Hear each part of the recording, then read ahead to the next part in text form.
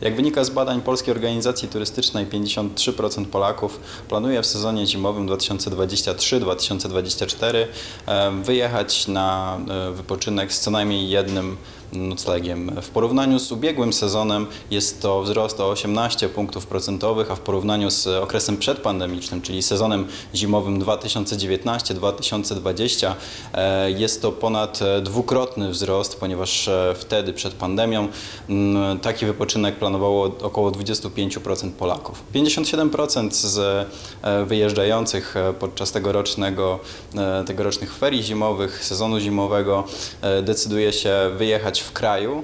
E, Około 11% planuje wyjechać zarówno w kraju, jak i za granicą. Jeśli chodzi o kierunki wyjazdowe, to e, dominują oczywiście góry podobnie jak w poprzednich latach, e, z tym, że w tym sezonie aż 60% postawiło właśnie na wypoczynek na południu Polski.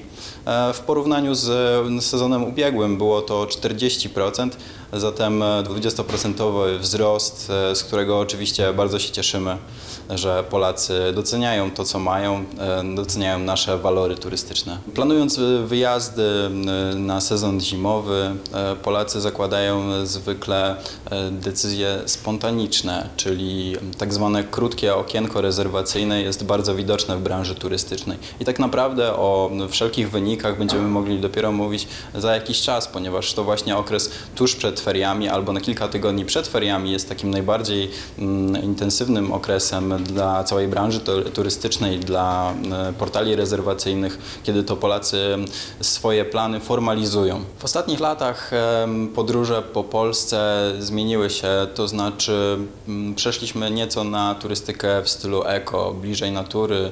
Em, Przede wszystkim e, tegoroczne plany wyjazdowe pokazały, jak bardzo potrzebny jest e, Polakom wypoczynek i relaks i to właśnie on jest głównym e, motywem przewodnim naszych wyjazdów.